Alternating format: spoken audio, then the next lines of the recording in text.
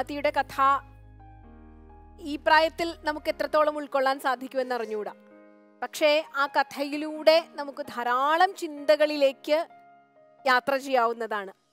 ഒരു തരത്തിൽ മഹാഭാരതം കൂടി കൂട്ടിവെച്ച് വായിക്കുമ്പോഴേ യയാതിയുടെ കഥയ്ക്ക് ഒരു പൂർണത കിട്ടുകയുള്ളൂ. ഭാരത ചരിത്രത്തെ ഗൗരവമായി സ്വാധീനിച്ച ഒരു മഹാരാജാവിന്റെ കഥയാണ്. ചന്ദ്രവംശത്തിലെ പ്രഗത്ഭനായ രാജാവിന്റെ കഥയാണ്. പിൽക്കാലത്ത് യുധിഷ്ഠിരൻ ഉൾപ്പെടെയുള്ള ഈ ഭാരത വംശാവലിയിലെ പൂർവപിതാമഹനായിരുന്ന യയാതിയുടെ കഥയാണ് നാം ഇവിടെ കാണുന്നത്. നാം എപ്പോഴും പ്രയോഗിക്കുന്ന ഒരു വാക്കാണ് കാമാന്ധനാവുക എന്നത്. പക്ഷേ കൃത്യമായി കാമം എങ്ങനെ ഒരാളുടെ ജീവിതത്തിൽ ബാധിക്കുമെന്നും അത് അയാളെ എപ്രകാരം അന്ധനാക്കുമെന്നും സൂചിപ്പിക്കുന്ന ഒരു ഒരു കഥയാണ് ഇവിടെ പറയുന്നത്. ആന്ധ്യം എന്ന് പറയുന്നത് അന്ധത എന്ന് പറയുന്നത് കൃത്യമായി കർത്തവ്യാകർത്തവ്യങ്ങളെ തിരിച്ചറിയാതിരിക്കുകയും കാമപൂർത്തീകരണത്തിന് വേണ്ടി ജീവിതത്തിൽ എന്ത് പ്രവർത്തിക്കും യാതൊരു മടിയും ഉണ്ടാവാതിരിക്കുകയും ചെയ്യുന്ന അവസ്ഥയിലേക്ക് നമ്മളെ കൊണ്ടെത്തിക്കും. നോക്കൂ സ്വന്തം പുത്രനോട് തനിക്ക് ലോകസുഖഭോഗങ്ങൾ അനുഭവിച്ചു മതിയായില്ലെന്നും തനിക്ക് യൗവനം കടം തരുമോ എന്ന് ചോദിക്കുന്ന തലത്തിലേക്ക് ഒരു പിതാവിനെ ഒരു പിതാവ് ഒരു പുത്രൻ എത്രമാത്രം ആരാധ്യനായിരിക്കും? എത്രമാത്രം മാതൃകയാവണം. അങ്ങനെയുള്ള ഒരു അവസ്ഥയിലേക്ക് ഒരു പിതാവിനെ നിപതിപ്പിച്ച കാമത്തെ സൂക്ഷ്മമായി നാം നിരീക്ഷിക്കേണ്ടതാണ്. ഭാഗവതം നമ്മളോട് പറഞ്ഞു തരുന്ന ഒരു പ്രധാന തത്വം നിങ്ങൾ കരുതിയിരിക്കൂ. നിങ്ങളെ എപ്പോഴും ബാധിച്ചേക്കാവുന്ന കാമത്തെയും ക്രോധത്തെയും കരുതിയിരിക്കൂ. ഇത് രാജാക്കന്മാരോട് പറഞ്ഞു കൊടുക്കുന്നത് എന്താണെന്നറിയോ? അവർ സുഖഭോഗങ്ങൾക്കുള്ളിൽ ജീവിക്കുന്നവരാണ്. അവർക്ക് ഏത് തരത്തിലും ഇതൊക്കെ അനുഭവിക്കാനുള്ള അവസരമുണ്ട്. ഈ അവസരങ്ങളൊക്കെ ഉണ്ടായിട്ടും സമൃദ്ധിയുടെ ഉള്ളിലിരുന്നിട്ടും ഒന്നുമില്ലാതിരിക്കുമ്പോൾ നമുക്ക് ത്യജിക്കാൻ ഒന്നും ബുദ്ധിമുട്ടില്ല.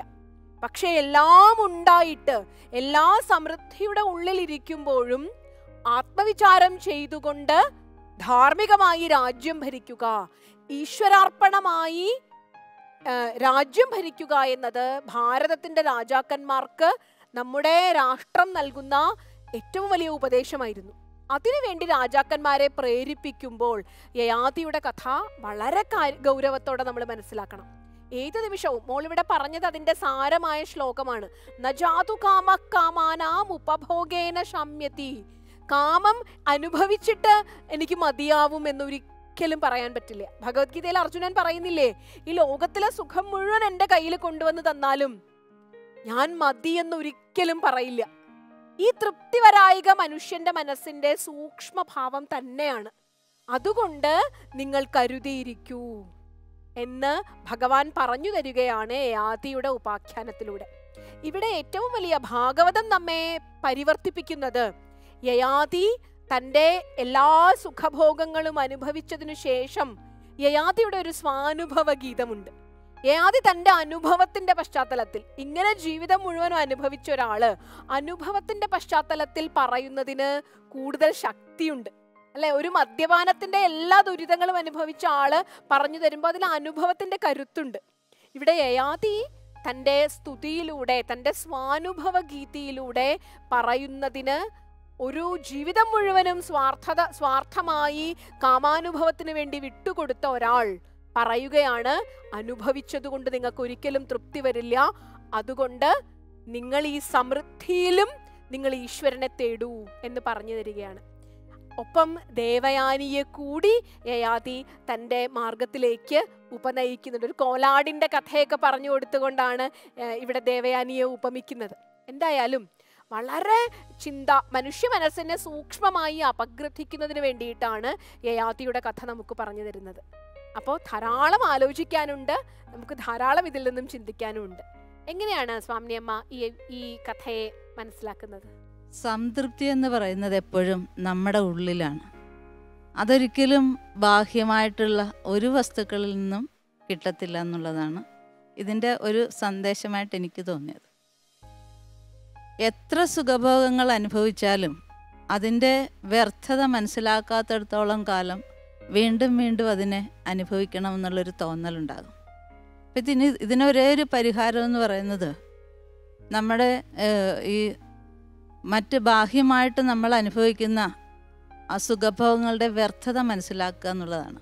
അത് ഒരു തിരിച്ചറിവാണ്.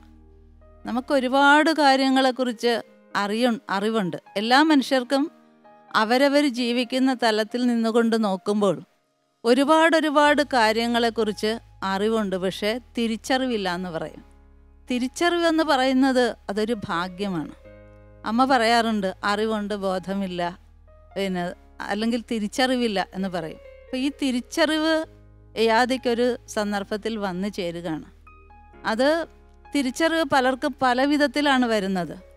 മറ്റുള്ളവരെ കണ്ടു പഠിക്കുന്നവരുണ്ട് ഇന്ന ഇന്ന ഇങ്ങനെയൊക്കെ ആയാൽ നമ്മുടെ ജീവിതം ശരിയാവത്തില്ല എന്ന് മറ്റുള്ളവരുടെ അനുഭവത്തിലൂടെ പഠിക്കുന്നവരുണ്ട്. സ്വയം അനുഭവിച്ച് പഠിക്കുന്നവരുണ്ട്. ഇനി എത്രയൊക്കെ കണ്ടും കേട്ടും അനുഭവിച്ചാലും പഠിക്കാത്ത ആൾക്കാരുമുണ്ട്.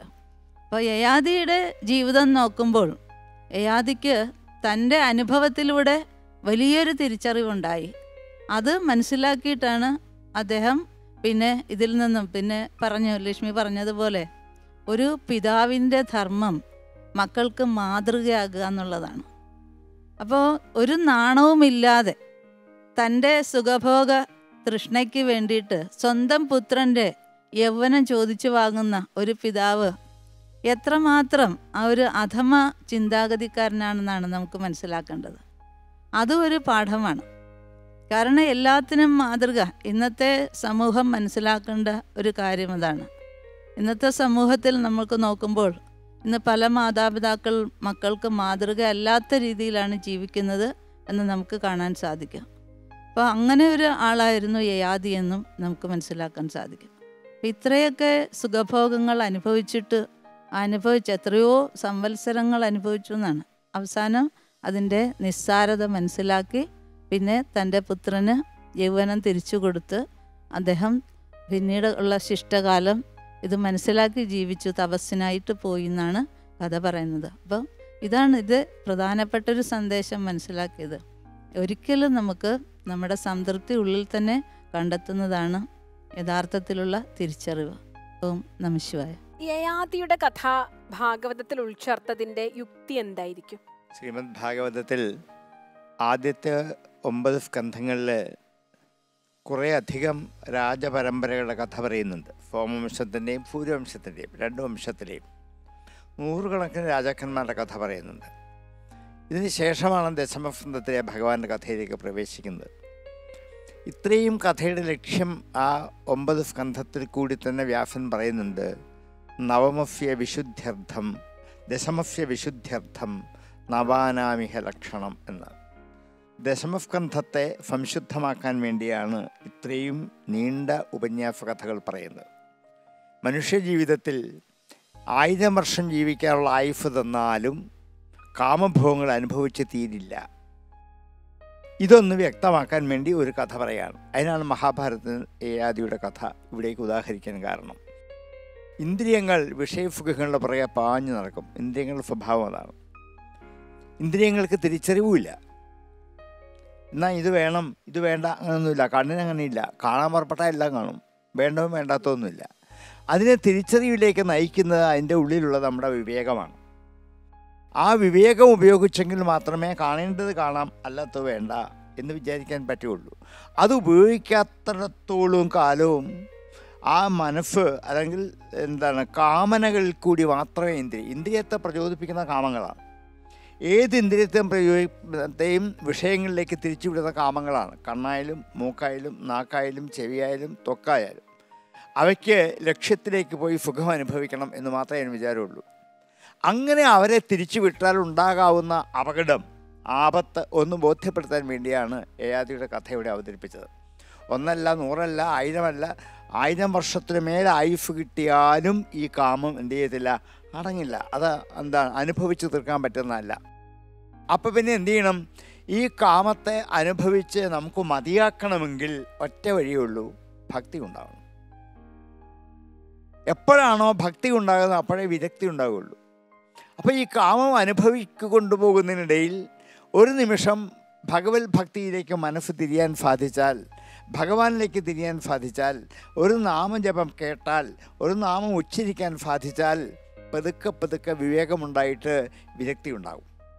ആ വിരക്തി ഉണ്ടായെങ്കിൽ മാത്രമേ പിന്തിരിഞ്ഞു പോരുകയുള്ളൂ. അല്ലെങ്കിൽ അത് എത്ര ആയാലും മതിയാവില്ല. ഒരു കാമമല്ല ഏത് കാമങ്ങളും അങ്ങനെയാണ്. കൊച്ചു കുട്ടികൾ മുതൽ ആഗ്രഹങ്ങൾ കാമങ്ങൾ നിറഞ്ഞു നിറഞ്ഞു വരും. എല്ലാ കാമങ്ങളും സാധിക്കാനുള്ളതല്ല എന്നൊരു തിരിച്ചറിവ് നമുക്കുണ്ടാവണം. കാമനകൾ നൂറുകണക്കിന് മനസ്സിലുണ്ടാവാം. ഇതെല്ലാം സാധിക്കാൻ പുറപ്പെട്ടാൽ ആവില്ല. ഒരു ജന്മം കൊണ്ട് പോലും ആവില്ല. അതുപോലെ ആഗ്രഹമല്ലേ മനസ്സിൽ കടന്നുകൂടുക? അപ്പോൾ അവയെ എന്ത് ചെയ്യണം? നിയന്ത്രിച്ച് വേണ്ടത് വേണ്ട സമയത്ത് വേണ്ടതുപോലെ ഉപയോഗിച്ച് പിന്തിരിയണം. അതിനുള്ള ചരട് നമ്മുടെ കയ്യിലുണ്ട്. ആ ചരടാണ് വിവേകം. അതുണ്ടാകണമെങ്കിൽ ഭക്തി തന്നെ വേണം. ഭക്തി ഇല്ലാതെ കിട്ടില്ല. ഇത് ബോധ്യപ്പെടുത്താനാണ് ഭാഗവതം ഏയാദിയുടെ കഥ ഇതിനകത്ത് തിരികെയത്. ആയിരം വർഷം ആയുഫ് കിട്ടിയിട്ടും മകനിൽ നിന്നും ചോദിച്ചു വാങ്ങിച്ച് അല്ലേ ഒരു രാജ എന്താ സുഖഭോഗങ്ങളുടെ പാരമ്യത്തിൽ നിൽക്കുന്ന ഒരു രാജാവിനെയാണ് ഉദാഹരിച്ചത്. മറ്റാരെയല്ല സാധാരണ മനുഷ്യനല്ല. ഏത് സുഖവും ആവോളവും അനുഭവിച്ചു തീർക്കാൻ പറ്റുന്ന ഒരു രാജാവ്. ആ രാജാവിനെ ഉദാഹരിച്ചിട്ട് അത് പോരാഞ്ഞിട്ട് തനിക്ക് ആയുഫ് പോരാഞ്ഞിട്ട് ആയിരം വർഷത്തോളവും ആയുഫ് പുത്രന്മാരിൽ നിന്നും കടം വാങ്ങി അനുഭവിച്ചിട്ടും എവിടെ ഇരിക്കുന്നു തികയില്ല. അപ്പോൾ കണ്ടു മനസ്സിലായിക്കോളൂ. ഇത് പറയുക പാഞ്ഞു നടക്കേണ്ട ആവശ്യമില്ല. അതെന്ത് ചെയ്യണം? ഇടയ്ക്ക് എവിടെയെങ്കിലും വെച്ച് ഉപസംഹരിക്കണം. ഇത്രയും കാലവും ഞാൻ അനുഭവിച്ചില്ലേ? ഇനി ഇത് മതി. എനിക്കിത് ധാരാളമായി. എന്ന് എപ്പോഴെങ്കിലും ഒരു ചിന്തിക്കാനുള്ള വിവേകം ഉണ്ടാകണമെങ്കിൽ ഭക്തി വേണം. അതിനാണ് ഭാഗവതം ഉപയോഗിക്കുന്നത്. ഇനിയും ഭാഗവതത്തിലേക്കാവും പോവാം. അത് ഭക്തി ഉണ്ടാകുമ്പോൾ പതുക്കെ ഈ കാമാദികളിൽ നിന്നും കുറേശ്ശെ കുറേശ്ശെ വിരക്തി ഉണ്ടാക്കിയെടുക്കും. അതുകൊണ്ട് ഇന്നത്തെ ഭൗതിക ലോക ജീവിതത്തിൽ ആസക്തിയുടെ പുറകെ കാമത്തിന്റെ പുറകെ ലെവലില്ലാതെ പ്രായം നോക്കാതെ എണ്ണം നോക്കാതെ അലഞ്ഞു തിരിഞ്ഞ് ആയുഫ് മുഴുവൻ നഷ്ടമാക്കുന്ന നൂറ് നൂറ് കണക്കിന് ജനങ്ങൾക്ക് നൽകുന്നൊരു ഉപദേശമാണ്. എനിക്ക് ഇത്ര വയസ്സായി ഇത്ര പ്രായമായി പത്ത് അറുപത് എഴുപത് എൺപതൊക്കെ ആയി. ഇനി ഇതെല്ലാം അടക്കി നിർത്തണം. എല്ലാ കാമനകളും ഒന്ന് മാത്രമല്ല സകലതും. ഇതൊക്കെ മതിയായി. ഞാൻ ധാരാളം അനുഭവിച്ചതാണ്. അല്ല എനിക്ക് ഇതുകൂടെ വേണം ഇതുകൂടെ വേണം എന്നൊരിക്കലും എന്ത് ചെയ്ത് ആഗ്രഹം ഉണ്ടാക്കരുത്. അങ്ങനെ ആഗ്രഹിച്ചു പോകുന്നവർക്ക് ഉണ്ടാകുന്ന ഒരു വിപത്ത് കാണിക്കാനാണ്. അതുകൊണ്ട് ഇന്നത്തെ ഭൗതിക ലോക എന്താ ജീവിത സാഹചര്യത്തിൽ ഏറ്റവും ഉപയുക്തമായൊരു കഥയാണ് ഏയാതിയുടെ കഥ. അത്രയും തന്നാലും നിങ്ങൾക്ക് മതിയാവില്ല. അപ്പം പിന്നെന്താണ്? കിട്ടുന്ന ഐഫ് കൊണ്ട് ആ ഈ സുഖം അല്പം അനുഭവിച്ച് ഇത് മതി എന്ന് അനുഭവിച്ച് പിന്തിരിഞ്ഞു പോരാൻ ഒരു വിവേകമുണ്ടാകണം അതിന് ഭാഗവതം ഉപയോഗിക്കണം ഭക്തി ഉണ്ടാകണം. ഇതാണ് ഭാഗവതത്തിന് ഉപദേശിക്കുന്നത് സർ ആദ്യം ഒരു മഹാരാജാവാണ്. ഒരു ഉന്നത അധികാര സ്ഥാനത്തിരിക്കുന്നവർക്ക് സംഭവിക്കാവുന്ന പതനമാണ് അദ്ദേഹത്തിന് സംഭവിച്ചത്. എങ്ങനെയാണ് സൂക്ഷ്മമായി ഈ കഥയെ മനസ്സിലാക്കുന്നത്? ഈ കഥ കേൾക്കുന്ന നമ്മുടെ യുവാക്കന്മാരും ഈ ഇരുപത്തൊന്നാം നൂറ്റാണ്ടിലെ ആളുകളും ഈ കഥയുടെ ചരിത്ര പശ്ചാത്തലം മനസ്സിലാക്കണം. ഇത് വെറും ഒരു സ്റ്റോറിയല്ല ഹിസ്റ്റോറിക്കൽ ട്രൂത്തായ ഒരു സംഭവമാണ്. നഹൂഷന്റെ മകനാണ് യായാദി ആ നഹൂഷൻ ഭീമസേനൻ അഹങ്കാരം ഉണ്ടാവുമെന്ന് വിചാരിച്ച് അഹങ്കാരം ശമിപ്പിക്കാൻ വേണ്ടി പെരുമ്പാമ്പായിട്ട് വന്ന് ഭീമസേനനെ പിടിച്ചു നിർത്തി അഹങ്കാരം ശമിപ്പിച്ചിട്ടാണ് ഭീമസേനൻ നാം കാണുന്ന രീതിയിലായത്. തന്റെ സന്ധി പരമ്പരപ്പെട്ടുള്ള ആൾ അങ്ങനെ സംഭവിക്കരുതെന്ന് വിചാരിച്ചിട്ട്. ഈ നഹൂഷന് യയാതി ജനിച്ചപ്പോൾ ഇവിടെ ഇപ്പോൾ സർമ്മിഷ്ട തോഴിയാണ് തോഴിയിൽ മക്കളുണ്ടായി എന്ന് പറഞ്ഞപ്പോൾ ഇത് വെറും തോഴിയാണെന്ന് മനസ്സിലാക്കി കളയരുത് ഈ സർമ്മിഷ്ട യയാതിയുടെ രണ്ട് ഭാര്യമാർ ശുക്രാചാര്യന്റെ മകൾ ദേവയാനിയും വിശ്വവർമാവിന്റെ മകൾ ശർമ്മിഷ്ഠയും സർമ്മിഷ്ഠ രാജകുമാരിയാണ് വെറും തോഴിയല്ല. ആ സർമ്മിഷ്ഠ ദേവയാനിയെ പിടിച്ച് പൊട്ടക്കണ്ടിലിട്ടു. പൊട്ടക്കണ്ടിലിട്ടപ്പോൾ അവിടുന്ന് യയാതി ഒന്ന് വലിച്ചു കയറ്റിയിട്ടാണ് ദേവയാനി പറയും ആ സൗന്ദര്യം കണ്ട് ദേവയാനി പ്രേമിച്ച് കല്യാണം കഴിച്ചത് ഈ അഹങ്കാരം കാണിച്ച് ഗുരുവിന്റെ മോളെ പിടിച്ച് കിണറ്റിലിട്ടില്ലായിരുന്നെങ്കിൽ ഒരിക്കലും ദേവയാനി ഭാര്യയാവില്ല സർമ്മിഷ്ഠ മാത്രമേ ഭാര്യയാവത്തുള്ളായിരുന്നു. അപ്പോൾ പെൺകുട്ടികൾ ചെറു ജീവിതകാലത്ത് ക്ഷിപ്ര ക്ഷിപ്രകോപം കൊണ്ടൊന്നും പ്രവർത്തിച്ചു കളയായിരുന്നു കോളേജ് കുമാരിമാർ പ്രത്യേകം മനസ്സിലാക്കേണ്ട ഒരു പാഠമാണ് ഈ സർമ്മിഷ്ഠയിൽ നിന്ന് നമ്മൾ പഠിക്കുന്ന പാഠം. ഇനി ആ ദേവയാനി ഭാര്യയായി മാറുന്നു. ഇനി സർമ്മിഷ്ഠയുടെ അച്ഛൻ വൃഷഭർമാവ് രാജകുമാരിയാണ്. അദ്ദേഹത്തിന്റെ സഹോദരനായിരുന്നു സ്വാലൻ. അതായത് അമ്പ അമ്പാലികയിൽ അമ്പുക അമ്പയുടെ കാമ്പുകനായി ശിശുപാലഭവത്തിന് ശേഷം ശ്രീകൃഷ്ണൻ കൊല്ലുന്ന സ്വാലൻ ഈ വൃഷവർമാവിന്റെ അനുജനാണ്. ഈ സ്വാലന്റെ കൂട്ടുകാരുടെ പേര് പറയുന്ന കൂട്ടത്തിലാണ് ആദ്യമായി കേരളം എന്ന ശബ്ദം ഉണ്ടാകുന്നത് സ്വാലന്റെ കൂട്ടുകാരുടെ ഒമ്പത് പേരുടെ പേരിൽ ചോള പാണ്ഡ്യഞ്ച കേരളാൻ എന്ന് പ്രയോഗിച്ചിരിക്കുകയാണ്. അപ്പം കേരളദേശത്തെയും പാണ്ഡ്യരേത്തെയും ചോളരേത്തെയും രാജാക്കന്മാർ സ്വാലന്റെ കൂട്ടുകാരാണെന്നാണ് പറയുന്നത്. കേരള ശബ്ദം ആദ്യം ലേറ്റർ ഇന്റർപ്രലേഷൻ ആയിരിക്കാം. പക്ഷേ ആദ്യം മഹാഭാരതത്തിൽ വരുന്നത് എവിടെയാണ്? അപ്പോൾ ഈ പെൺകുട്ടികൾ ക്ഷിപ്ര കോപത്തിലൊന്നും ചെയ്യരുതെന്നുള്ള പാഠം അങ്ങ് പഠിപ്പിക്കുകയാണ്. ഈ സർമ്മിഷ്ഠയിൽ രണ്ട് മൂന്ന് കുട്ടികളുണ്ടെന്ന് മനസ്സിലായി കഴിഞ്ഞപ്പം ഇവൾ ഓടിച്ചെന്ന് അപ്പനോട് പറയുമ്പം ശുക്രാചാരൻ ഒരൊറ്റ ശാപമാണ്. ജരയും നരയും ബാധിച്ച് പൊക്കോട്ടെ എന്നാണ്. ചേടാ സ്വന്തം മോളുടെ ഭർത്താവ് കിളവനായ ഭാര്യ സ്വന്തം മോക്കല്ലേ പോകുന്നത്? സ്വന്തം മോക്ക് സന്തോഷമായിട്ട് കുടുംബജീവിതം നയിക്കാനുള്ള ചാൻസല്ലേ അപ്പം കളയുന്നത്. അമ്മായിപ്പൻ മരുമോനെ ശപിക്കുമ്പോൾ ഒരു ലിമിറ്റ് വേണം. ഈ തന്ത ശപിച്ച പോലെ ശപിച്ച് കളയരുത്. മോടെ ഭർത്താവ് കിളവനായപ്പോൾ ഇവക്കല്ലേ ദാമ്പത്യ സുഖം നഷ്ടപ്പെടുന്നു മോക്ക്. അപ്പോൾ ശപിക്കുമ്പോൾ അമ്മായിപ്പൻ സൂ- സൂക്ഷിക്കണ്ടേ? അമ്മായിമാരും മരുമക്കളും തമ്മിൽ വഴക്കുണ്ടാകുമ്പോൾ ചെയ്യാവുന്ന കാര്യമുണ്ട് ചെയ്യാൻ പറ്റാത്ത കാര്യമുണ്ട്. അതിലൊന്നാണ് ഈ പറയുന്ന സംഭവം. വാർദ്ധക്യം കിട്ടിക്കഴിഞ്ഞപ്പം ഞാൻ മക്കളോട് എല്ലാ ഓരോരുത്തരോടും ചോദിക്കുകയാണ്. അപ്പോൾ യദുവിനോട് ചോദിച്ച ആദ്യം ദേവയാനയുടെ അപ്പനാണല്ലോ ശവിച്ചത് യദു കൊടുത്തില്ല. സംഭവം എന്തുണ്ടായി? യദുവിന് രാജ്യഭാരം കിട്ടിയില്ല. യദു അവിടുന്ന് അലഞ്ഞു തിരിഞ്ഞ് വെസ്റ്റേൺ യു പിയിലേക്ക് വരേണ്ടി വന്നു. ഈ സംഭവം നടക്കുന്നത് സത്ലജ് നദിയുടെ തീരത്താണ്. അതായത് പാക് ഓക്കുപ്പൈഡ് കാശ്മീരിലാണ് ഈ സംഭവം. അപ്പോൾ രാജ്യഭരണം കിട്ടാത്തതുകൊണ്ട് യദു അവിടുന്ന് അലഞ്ഞു തിരിഞ്ഞ് വന്നിട്ട് ഹി റീച്ച്ഡ് വെസ്റ്റ് നമ്മുടെ വെസ്റ്റേൺ ഉത്തർപ്രദേശ്. അവിടെ വന്നപ്പോഴാണ് ലോണാസുരനെ വധിച്ച ശേഷം ശ്രീരാമന്റെ മക്കൾ ആ രാജ്യം പിടിച്ചെടുത്തിരിക്കുകയായിരുന്നു. അപ്പോൾ അവിടെ ഭരണത്തിൽ വന്ന യദു ആ വംശപരമ്പരയിലാണ് ഭഗവാൻ കൃഷ്ണൻ ജനിക്കുന്നത്. But for these cars Yadu അച്ഛനങ്ങ് യൗവനം കൊടുത്തെന്ന് വിചാരിച്ചോ? ഒരിക്കലും യദുകുലം വെസ്റ്റേൺ യു പിയിൽ വരികയോ ഭഗവാൻ കൃഷ്ണൻ മധുരയിൽ ജനിക്കുകയോ ചെയ്യില്ലായിരുന്നു. ഇനി തുറോശർ എന്ന് പറയുന്ന അടുത്ത മോനോട് ചോദിച്ചു. അവൻ സമ്മതിച്ചില്ല. ആ തുറോശർ എന്ത് ചെയ്തു? അന്യം നിന്ന് പോയി പക്ഷേ തുറോശർ നാമമാണ് ഇന്ത്യയെപ്പറ്റി ഇന്ത്യയ്ക്ക് പുറത്തുള്ള ആദ്യത്തെ റെഫറൻസ് കുവൈറ്റ് കേന്ദ്രമായ ദിൽമൂൺ സംസ്കാരത്തിന്റെ ഒരു രേഖക്കകത്ത് പറയുന്നു ഇന്ത്യയിൽ നിന്ന് വന്ന തുർവശർ കപ്പലിൽ വന്ന രാജാവും ഞാനുമായി ഒരു എഗ്രിമെന്റ് ഒപ്പിട്ടിരിക്കുന്നു. ക്ലേ ടാബ്ലറ്റ്സ് ഇരുപത്തഞ്ച് കൊല്ലത്തിന് കിട്ടിയതാണ്. ഈ തുറോശർ നശിച്ചു പോയെങ്കിലും തുറോശർ എന്നുള്ള പേരാണ് ഇന്ത്യയ്ക്ക് പുറത്ത് ഇന്ത്യയെ പറ്റിയുള്ള ആദ്യത്തെ റെക്കാർഡ് ഈ മകന്റെ പേരിലാണ്. അപ്പോൾ യദുവും തുറോശരും. രണ്ടാമത്തെ ശർമ്മിഷ്ഠരുടെ മക്കളോട് ചോദിക്കുന്നു ധ്രുഹുവിനോട് ചോദിച്ചു ധ്രുഹു തര തരത്തില്ല എന്ന് പറഞ്ഞു. ധ്രുഹു ആണ് വെള്ളത്തിൽ മുങ്ങി മരിക്കുന്നത്. ദാസരാജ് യുദ്ധത്തിന് സമയത്ത് സുദാസിനെതിരെ യുദ്ധത്തിന് പോയി വെള്ളത്തിൽ മുങ്ങി മരിച്ചു ധ്രുഹു മനസ്സിലാകുന്നുണ്ടോ? പക്ഷേ അച്ഛന് യൗവനും കൊടുത്ത അച്ഛ മകൻ പൂരു. പൂരു എന്ത് ചെയ്തു? ഈ രാജ്യത്തിന്റെ ഉടമസ്ഥനായി മാറി. അധിപനായി മാറി. ആ പൂരുവിന്റെ വംശപരമ്പര രണ്ടായിരം കൊല്ലം നിലനിന്നിരുന്നു. അലക്സാണ്ടർ ചക്രവർത്തി ഹൈദസ് പ്രസിദ്ധത്തിൽ തോൽപ്പിക്കുന്ന പോറസ്. പോറസ് എന്ന് പറഞ്ഞാൽ പൂരുരവസ് എന്നുള്ള പേരാണ് ഈ ഗ്രീക്കുകാർ പോറസ് എന്ന് ഉപയോഗിച്ചിരിക്കുന്നത്. ആ പൂരുവിന്റെ വംശപരമ്പര അലക്സാണ്ടർ ചക്രവർത്തിക്ക് പോലും വളരെ കഷ്ടപ്പെട്ടാണ് അയാളെ പരാജയപ്പെടുത്താൻ പറ്റിയത്. ബട്ട് ഈ കണ്ടിന്യൂഡ് ആസ് റൂളർ അലക്സാണ്ടർ ചക്രവർത്തി അദ്ദേഹത്തെ ഭരണം തിരിച്ചേൽപ്പിക്കുകയും ഇന്ത്യയുടെ ചരിത്രത്തിൽ രണ്ടായിരത്തി അഞ്ഞൂറ് കൊല്ലം നിലനിന്ന ഒരു രാജവംശമായി പൂരുവിന്റെ വംശം മാറുകയും ചെയ്തു. അപ്പനെയും അമ്മയും വയസ്സുകാലത്ത് ശുശ്രൂഷിക്കുകയും അവരുടെ അനുഗ്രഹം വാങ്ങിക്കുകയും ചെയ്യുന്ന മക്കൾക്ക് ഈ പൂരുവിന്റെ കൂട്ടുണ്ടാവും. അല്ലാതെ അപ്പനെയും അമ്മയും കൊണ്ട് ഓൾഡ് ഏജ് ഹോമിൽ ഇട്ടിട്ട് മിടുക്കനായിട്ട് നടന്നാൽ അവന്റെയൊക്കെ അന്ത്യമാണ് ഈ ഈ ഈ ദ്രുഹുവിനും ദുർവശർക്കും ഉണ്ടാവുന്ന ഗതികളുണ്ടാവും അപ്പം അച്ഛനും അമ്മയും വയസ്സുകാലത്ത് അന്വേഷിച്ച് അവരുടെ അനുഗ്രഹം ലാസ്റ്റിൽ വാങ്ങിച്ചാൽ ഈ പൂരുവിന്റെ കൂട്ട് നൂറ്റാണ്ടുകൾ കഴിഞ്ഞ വലിയ സംസ്കാരത്തിന്റെ ഉടമസ്ഥരായിത്തീരും. വലിയ സന്തതി പരമ്പരയുടെ ഉടമസ്ഥരായിത്തീരും. ഈ വാർദ്ധക്യം അല്ലെങ്കിൽ ജരയും നരയും ഒരു ശാപമാണെന്നാണ് ഭാരത സങ്കല്പം. പക്ഷെ വേദപുസ്തകത്തിൽ നേരെ തിരിച്ചാണ്. വാർദ്ധക്യം ഒരു അനുഗ്രഹമാണ്. ദീർഘായുഷ്മനാകാൻ വേണ്ടി അച്ഛനെ അമ്മയും ബഹുമാനിക്കുക. വേദപുസ്തകത്തിൽ പറയുന്നതാണ്. അച്ഛനെ ബഹുമാനിച്ച അച്ഛനെ സഹായം ചെയ്ത യജാതിയെ സഹായിച്ച പൂരു. അദ്ദേഹം ലോകം ചരിത്രം അറിഞ്ഞ ഒരു രാജവംശത്തിന്റെ ഉടമസ്ഥനായി. ഇനി വാർദ്ധക്യത്തിലായി കഴിയുമ്പോൾ അവർക്കൊരു അനുഗ്രഹം കൊടുത്തിട്ടുണ്ട്. നീതിമാനെ ഞാൻ മക്കളുടെ മക്കളെ കാണിക്കും. വേദോസം പറയുകയാണ് മക്കളുടെ മക്കളെ ഒരാൾ കണ്ടാൽ നീതിമാനാണെന്നുള്ള സർട്ടിഫിക്കറ്റാണ് അപ്പോൾ ഇവിടെ ജാതി കിട്ടിയ ശാപം ശാപമാണെന്ന് പറയുന്നുവെങ്കിലും മറ്റു മതങ്ങളുടെ കണക്കിൽ ഈ വാർദ്ധക്യം ഒരു അനുഗ്രഹമാണ്. അപ്പോൾ വാർദ്ധക്യത്തിലുള്ള അപ്പനെ അമ്മയും സംരക്ഷിക്കും മക്കളെങ്ങനെ സംരക്ഷിക്കണം? ഈ പാഠം നമ്മളെ പഠിപ്പിക്കുകയാണ്. യയാദിയെ പറ്റി സിഗ്മഡ് ഫ്രോയിഡിന്റെ സൈക്കോ അനാലിറ്റിക്കൽ തിയറി അനുസരിച്ച് വിശകലനം ചെയ്തുകൊണ്ട് മറാത്തി ഭാഷയിൽ വലിയൊരു നോവൽ ഇറങ്ങി. അതാണ് കണ്ടേക്കറുടെ യയാദി എന്ന നോവൽ. ആ നോവൽ അതിഗംഭീരമായി യയാദിയുടെ ശാപവും അതിന്റെ പരിണിത ഫലവും സുന്ദരമായി വിവരിക്കുന്നു. അതിന്റെ ആ ആ ഗംഭീരത മനസ്സിലാക്കിക്കൊണ്ട് തന്നെയാണ് ഇന്ത്യയിലെ ജ്ഞാനപീഠം അവാർഡ് യയാ കണ്ടേക്കർക്ക് കൊടുത്തു. കണ്ടേക്കർക്ക് ഈ യയാതിയുടെ വിശകലനത്തിലാണ് ജ്ഞാനപീഠ അവാർഡ് കിട്ടിയത്. ഈ യയാദിയുടെ ശാപവും അതിന്റെ ചരിത്രവും ശരിക്കും പഠിക്കേണ്ട ആളുകൾ സുന്ദരമായ യയാദിയുടെ നോവൽ മലയാള ഭാഷയിൽ തർജമ ചെയ്തിട്ടുണ്ട്.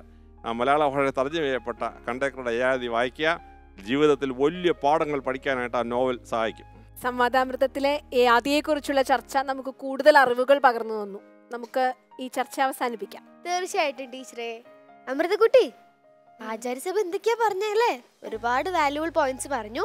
അപ്പൊ നെക്സ്റ്റ് ടൈം വരുമ്പോ ഇതൊക്കെ കേട്ട് മനസ്സിലാക്കി അതിനനുസരിച്ച് പ്രിപ്പയർ ചെയ്ത് വേണം വരാൻ കേട്ടോ ഓക്കെ നന്നായിട്ടൊന്ന് പ്രസന്റ് ചെയ്തു. അപ്പൊ ശ്രേഷ്ഠ ഭാരതം ഞാൻ പിറന്ന മണ്ണിന്റെ വക. അമൃതയ്ക്ക് ചെറിയൊരു ഉപഹാരമുണ്ട്. സ്വാമിനമ്മയുടെ കയ്യിൽ നിന്ന് സർട്ടിഫിക്കറ്റ് വാങ്ങിയിട്ട് വരും.